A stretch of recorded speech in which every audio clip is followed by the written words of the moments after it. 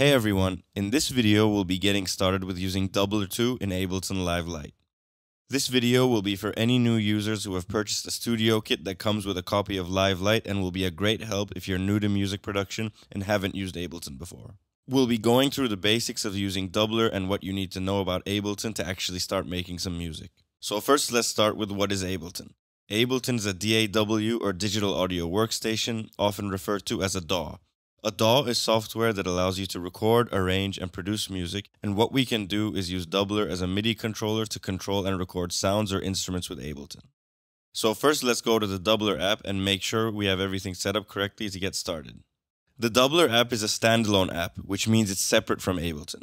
If you've already opened Ableton, you may have seen Dubler MIDI capture listed in the plugin list, but we'll go into that later on in the video. For now, we just need the standalone Dubler app open. The first thing we need to do is make sure a mic is calibrated in Dubler and we follow the audio setup wizard. If you're using the Dubler USB mic, simply make sure it's connected and follow the steps in the audio setup wizard. It's important to remember for the best results, we recommend using a dynamic microphone. Once you've followed the steps in the app and your mic is calibrated, let's open up a blank profile. Now we're in the Play tab. As part of the audio setup wizard, it's explained that Dubler has inbuilt audio as well as MIDI out. Dubler's inbuilt sounds can't be used to record and are just so we can get some feedback in the app without having to connect to a DAW. As we'll be using the sounds within Ableton, let's turn the inbuilt audio off. If the audio setup wizard has got you set up with ASIO4ALL, I'd recommend heading to the audio settings and setting the output device to none just to keep things simple. Once this is done, we won't hear any sounds from Dubler itself and we can head over to Ableton to get it connected. In Ableton, open the Preferences and head to the Link MIDI tab. Make sure the track and remote are both ticked for Dubler 2. After this, head to the Plugins tab and make sure the VST3 system folder is on. Then finally, we can head to the Audio tab. This section is important to ensure we get the best performance in terms of latency and accuracy while using Dubler. If you're on Mac, you can select the output you want to use and adjust the buffer size below to 128. If you're on Windows, you'll first want to make sure you have an appropriate ASIO driver selected and then adjust the buffer size to 128 samples. We recommend the free ASIO4ALL driver for Windows and you can find more information about setting that up in the description of this video. Once that's done, we can now exit the preferences. Also, don't worry, you won't need to repeat these steps every time you launch Ableton. We'll use the tab button on the keyboard to switch to the more linear arrangement view. This is easier for starting to make music, but we've also dropped a link below to a tutorial about navigating the more loop-focused session view. The first thing you'll see in an empty project is four tracks, two audio tracks and two MIDI tracks. These are the two types of tracks you use in Ableton to make music. Audio tracks are only used to record and play audio files, so for example if you recorded your voice with a mic or a guitar with your sound card. MIDI tracks on the other hand will hold virtual instruments or samples that we can control with Dubler, so for this video we can just ignore the audio tracks. On the left hand side here we can navigate and find instruments and sounds we want to use on our MIDI tracks. So let's first go to Instrument Rack and in here you'll see a list of categories available that each contain different sounds. You can hear examples by clicking once on the sound.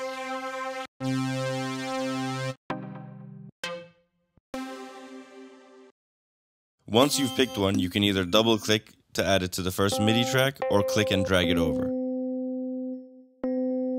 We'll go with the basic sine keys patch.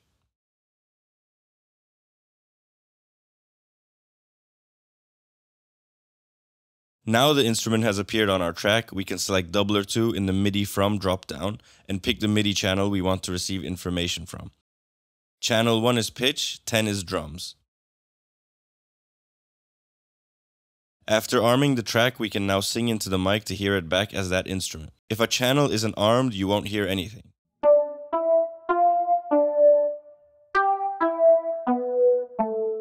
All of Live's instrument presets come with handy macro controls that you can use to shape your sound. You can click the arrangement record button to record, but first I'm going to turn on the metronome in the top left here. We're at 120 BPM, so I have a beat to get the timing right.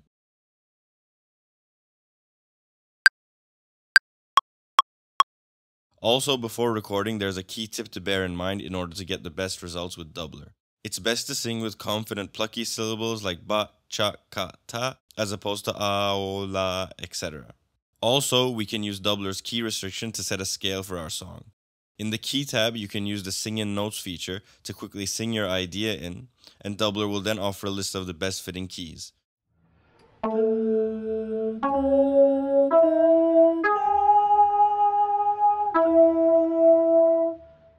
We can pick a major or minor scale as these are the best to get started, and then press update.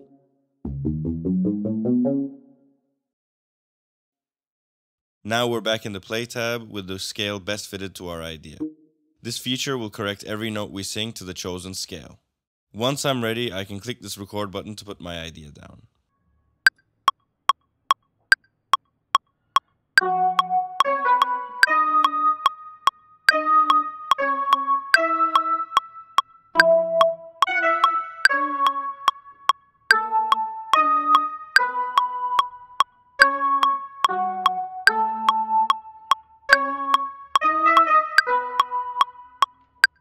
Now we have our MIDI clip and we can edit it. The first step is cutting it up into smaller clips that we like. We can do this by selecting the cut point and using the Command or Control E shortcut. Then you can double click the clip and delete notes or drag notes around to change the pitch for example.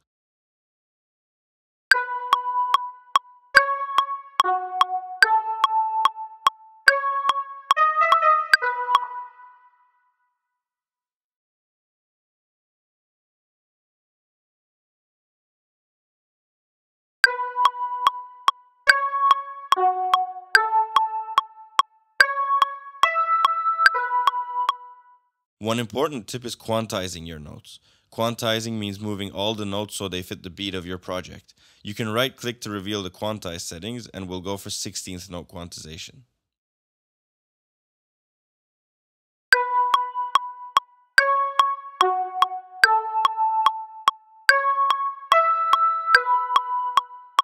For a second melodic example, we'll now use Dubler's MIDI Capture plugin for a bass sound. This plugin requires an empty MIDI channel, so we'll create one by right-clicking any of the channels and clicking Create New MIDI Channel. MIDI capture will be found in the Plugins tab and we can drag it into this new MIDI channel.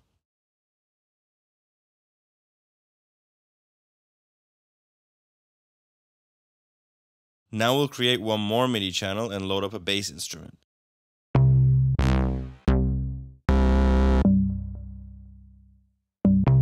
This basic electric drive preset should be okay.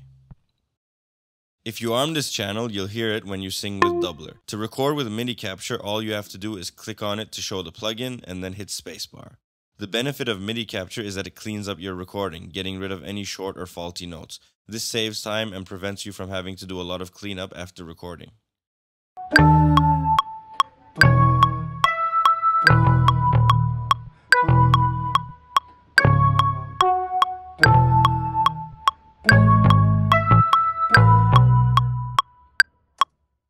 Now that we're done with the recording, we can choose between the raw and clean clips. Since we were singing single notes, it'll be better to go with the clean one because my singing was a bit shaky at times. All we have to do is drag and drop the clip to the bass channel. This message will come up sometimes saying import tempo and time signature to your arrangement. You can just say don't show again and no. In that recording, I was trying out different single notes with the melody. This is a more experimental approach, and the goal is to find bass notes that go with the melody notes. We can then cut up the clips that work and loop those or manually input more notes by double clicking the MIDI clip and editing. As before, Command or Control E is a really useful keyboard shortcut to split the clips.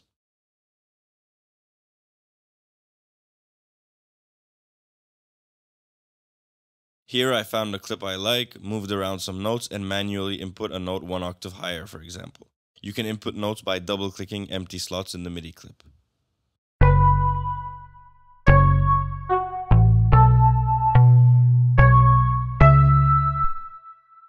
So that's how to record some melodies in. Now let's take a look at recording some drums. Drums and samples are controlled using triggers, so the first thing we need to do is record some triggers into Dubler. Triggers work by assigning input sounds to MIDI notes of our choice, which in turn trigger drum samples in Ableton. Let's quickly record some triggers. Hit plus to go to the train tab and our first trigger is on C1. In most drum racks this is usually a kick, so let's train a butt sound. Short and sharp sounds work the best, and remember to be consistent when you train your sound. but but but but but but but but but but but but but We can also rename the trigger to help us remember what sound we use, so I'll rename this the butt kick. Let's repeat this for our second trigger. This time it's going to be for D1, which is usually a snare. For the hat, it's usually F1 or F sharp 1. cha cha cha cha cha cha cha cha cha cha cha So now we have our triggers trained, let's head into Ableton and load up a drum rack. Drum racks have their own selection on the left hand side, but we can pick them in just the same way as our other MIDI instruments.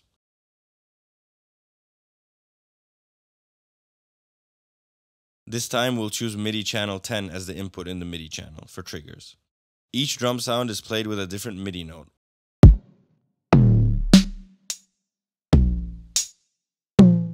We use the C1 kick and D1 snare notes when training our triggers, but you can change these to different notes in Dubler as well. We'll record the kick and snare first.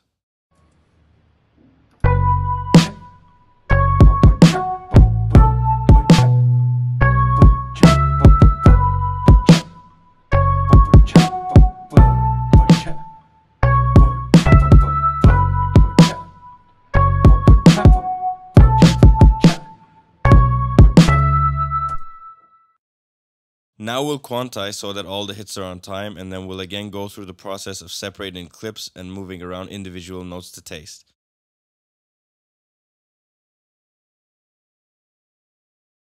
Next, we'll manually program in some straight 16th note hi-hats by double-clicking notes in the drum rack MIDI clip.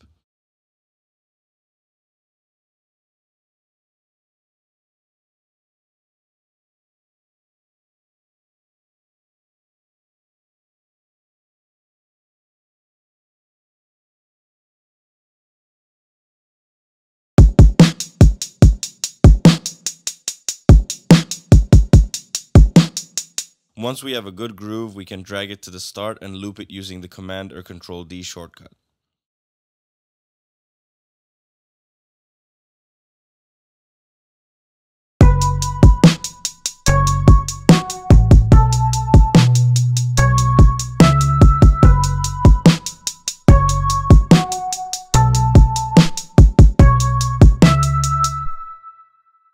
Just as an extra note with drums, Live has a bunch of drum loops in the Clips tab that you can drag in to add additional percussion or rhythms that complement your beat.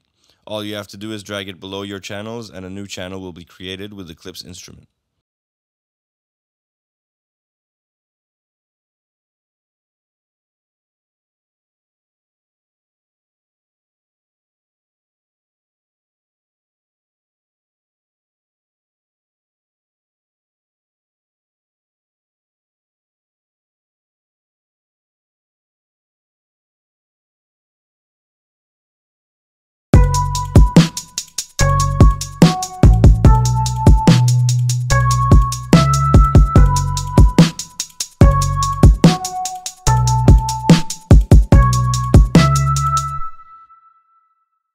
One last thing that can really help you get started with songs is chords. We had previously selected a key for our melody idea, but working in a key also allows you to use chord presets in the Chords tab.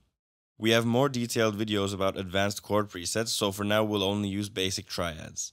You can enable triad chords by simply enabling chords in the Play tab. We'll create a new MIDI channel and choose a pad from the instrument rack. This time we'll use the search function and simply type in pad. Usually producers record chords and then melodies and bass lines, but let's see if we can get something good by doing the opposite.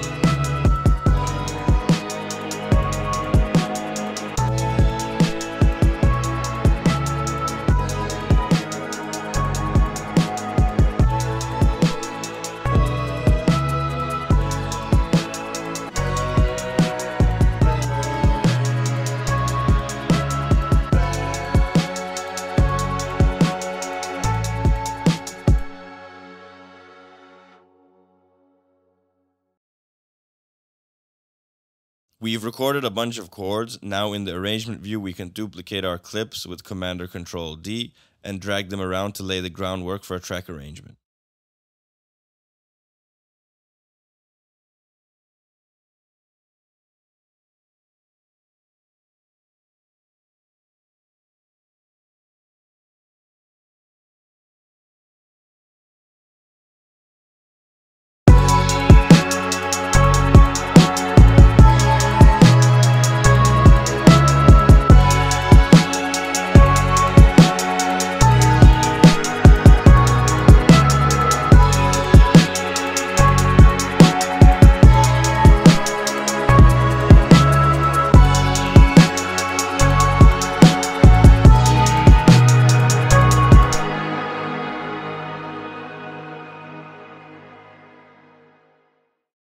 Control volume at the far right of each channel where you can also solo, mute, or pan the channels.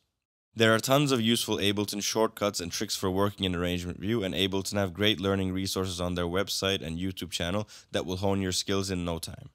We hope this video has been helpful for your first sessions in Ableton. If you have any questions, don't hesitate to contact us by leaving a comment or contacting our support team at help at vochlea.co.uk. You can also submit a support ticket via your Vochlea account and on our website, and our team will get back to you right away. See you next time.